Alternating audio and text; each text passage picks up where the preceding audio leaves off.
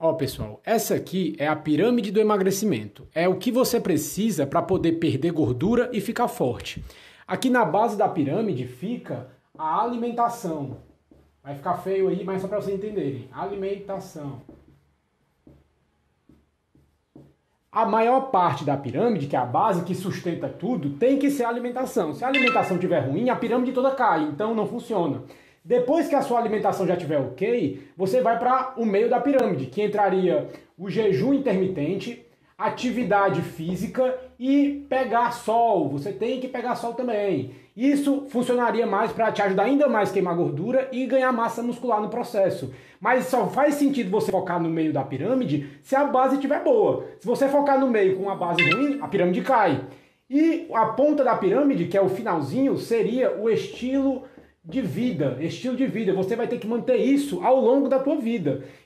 Aí, claro, aqui no estilo de vida, você vai tentar manter tudo que você conquistou, mas aqui vai ser bem mais flexível. Você não precisa manter uma alimentação 100% focada e nem fazer jejum, atividade física e pegar sol todo dia. Você vai fazer isso agora de vez em quando para poder manter o que você alcançou. Para subir a pirâmide é mais difícil, mas depois que você já está aqui na ponta, para poder manter isso é bem mais fácil. Você vai ter mais flexibilidade, você vai ter mais opções de refeições e até pode comer mais errado de vez em quando. Mas se você não ajeitar a base e o meio, não, você não pode chegar logo no final de cara. Não, não funciona dessa forma. É a mesma coisa estar tá construindo um prédio, você esquece do, da base do prédio, da fundação do prédio e continua construindo o resto. Mesmo que depois você consiga chegar aqui, ele vai cair. É a mesma coisa. Não sei se deu para entender direito, mas a analogia é mais ou menos essa. Uma, não é uma analogia perfeita, mas eu acho que encaixa muito bem. Eu mandei uma foto do meu jantar para minha namorada, com frango e carne, quase meio quilo de comida, tirando os ossos, e ela estava falando que eu estou comendo muito. E é verdade, realmente eu estou comendo bastante. E eu, tô, eu, eu expliquei para ela que eu estou comendo muito porque ontem eu voltei a treinar de verdade. Eu estava treinando antes, mas eu estava treinando mais ou menos, mais ou menos, três vezes só na semana, um treinozinho de meia hora só para manter ali o músculo. Mas eu não estava fazendo um treino que normalmente eu faço, que é um treino de segunda a sábado, treinando vários grupos musculares no dia. Eu estava treinando só um grupo muscular por dia três vezes na semana só, então era pouca coisa. Agora eu treinei de verdade, voltei a treinar de verdade. Tanto é que eu tô todo doído aqui. Treinei peito ontem, meus peitos estão doendo. Treinei costa, amanhã minhas costas vão estar doendo. Amanhã eu vou treinar a perna, não vou conseguir andar.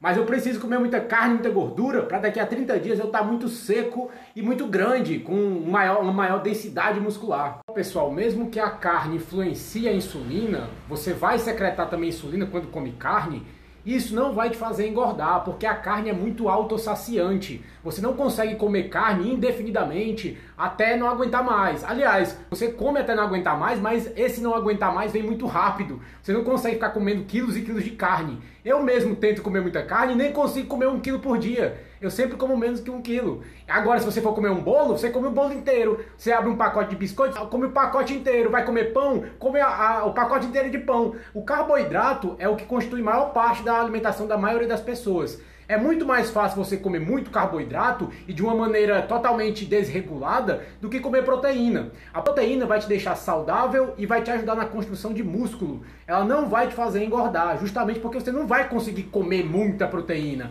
Você vai manter sempre uma média ali de 20% de proteína, 25. É difícil, é muito difícil ultrapassar isso. Ó, pessoal, só falar um pouco aqui sobre a questão da saciedade. Não é normal você sentir fome a cada duas ou três horas. Se isso está acontecendo, quer dizer que o seu metabolismo está desregulado. Pode estar acontecendo duas coisas. A primeira é que a sua alimentação está pouco nutritiva, você não está consumindo muito, muitos nutrientes na sua dieta. E o nosso corpo ele tem fome por nutriente. Se você estiver comendo muita comida que tem muita caloria, mas pouco nutriente, ele vai continuar pedindo comida, porque ele também tem que matar essa fome de nutrientes.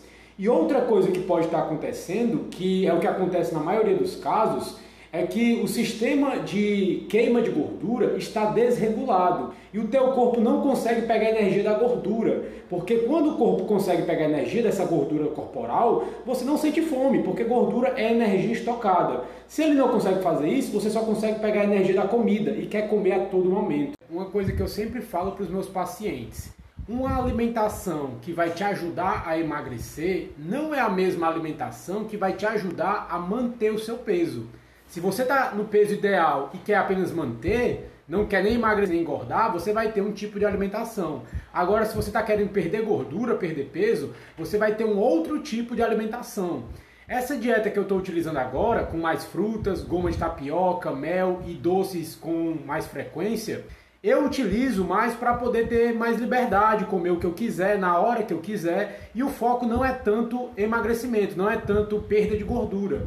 Se eu quiser mais definição muscular, que é o que eu vou querer mês que vem, eu vou diminuir todos esses carboidratos, vou retirar da minha alimentação para conseguir uma perda de gordura maior. E claro, isso tudo depende da genética de cada pessoa. Tem pessoas que comem o que eu como hoje e conseguem ficar mais definidas, mas eu não sou uma delas. O meu irmão, ele está cursando farmácia. E ele parece que vai estudar para uma prova e estava pegando uns remédios da minha avó para poder dar uma analisada. A minha avó tem diabetes, pressão alta e vários outros problemas ocasionados pelos remédios. Porque, pelo que ele estava me contando ali, vários remédios dele, todos eles, aliás, têm efeitos colaterais diversos. Você toma um, tem 10 efeitos colaterais. Você toma outro, tem mais 20 efeitos colaterais. Só que o grande problema que a gente estava conversando aqui era que diabetes é uma doença crônica, pressão alta é uma doença crônica, problema no coração é uma doença crônica. E o que é uma doença crônica? É uma doença que você não adquire com contato humano, você adquire a, a, através dos seus hábitos de vida. O que você faz, o que você come, isso tudo vai ocasionar doenças que é, são chamadas de doenças crônicas, né, que você adquire ao longo da vida. Só que o grande problema é o seguinte: quando você tem uma doença crônica, como por exemplo pressão alta, a primeira coisa que você vai fazer é, no, é, ir no médico e ele vai te receitar um remédio. Até aí tudo bem, mas esse remédio ele vai funcionar para diminuir a pressão porque ela está muito alta. Ele vai controlar a pressão para você mudar a sua alimentação, normalizar a pressão e tu parar de tomar esse remédio. Só que as pessoas não pensam dessa forma. Elas, nossa, tô doente, vou tomar esse remédio pelo resto da minha vida. Não funciona dessa forma. Você vai acabar tendo uma morte muito dolorosa e triste. Porque você, a causa de você estar tá doente ainda continua lá. Se você tem alguma doença crônica, quer dizer que você adquiriu ela por conta de uma alimentação errada ao longo da vida. Se você, se você tem uma alimentação boa, uma alimentação de qualidade, é muito difícil que você adquira essas doenças crônicas. Pode até acontecer, mas realmente é muito difícil. É como se você ganhasse na loteria do azar, comendo alimentos de qualidade e adquirindo alguma doença crônica. Realmente é quase impossível. E esse é outro grande ponto para quando essas pessoas já estão doentes e estão tomando remédio. Se você tá com alguma doença crônica, o ideal é mudar a tua alimentação. Tá tomando remédio para controlar essa doença, mas a causa da doença ainda está lá, uma alimentação errada. Um outro exemplo aqui são alguns pacientes meus que quando me procuram estão tomando dois ou três remédios de pressão. E quando mudam a alimentação, a pressão deles normaliza e eles jogam o remédio fora, não precisa mais tomar remédio. Se você está usando um remédio, tem algum problema, alguma doença crônica, está usando remédio e não mudou nada na tua alimentação, o, o, a tendência ao passar do tempo é cada vez piorar mais essa doença. A minha mãe acabou de me enviar um vídeo aqui de um tal de Dr. Coraça, acho que é isso. E ele fala sobre dieta frugívora, uma, uma dieta para você comer só fruta. E ele fala que o ser humano nasceu para comer só fruta. Só que esse é um pensamento muito limitante. É parecido com a dieta carnívora, que o ser humano nasceu para comer só carne. Não, o ser humano é um animal onívoro que pode ter diferentes tipos de dietas. A base aqui não é só fruta ou só carne, é ter uma alimentação natural. É, eu acho que eu já li tanto sobre isso que para mim é muito muito simples, né? faz muito sentido, mas ainda tem pessoas que acabam se limitando nessa questão de comer só planta, ou só carne, ou só fruta, coma alimentos naturais. Esse é o grande ponto.